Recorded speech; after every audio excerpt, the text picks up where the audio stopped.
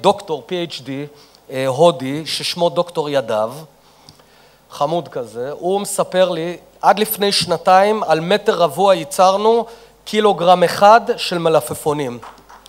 היום, אחרי שנתיים של עבודה עם המתודולוגיות שלכם, החקלאי הממוצע מייצר עשרה קילו מלפפונים במטר רבוע בשנה.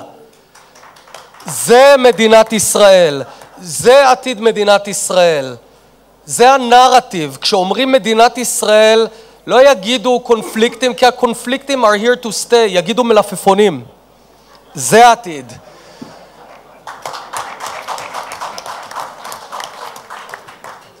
דמיינו שלא היו לנו רק עשרה, עשר חוות חקלאיות כאלה בהודו, אלא שמונה מאות, ובסין ובאפריקה עם טכנולוגיות המים, עם טכנולוגיות הרפואה, ואנחנו מרימים את המדינה. עכשיו אני אגיד לכם, ב...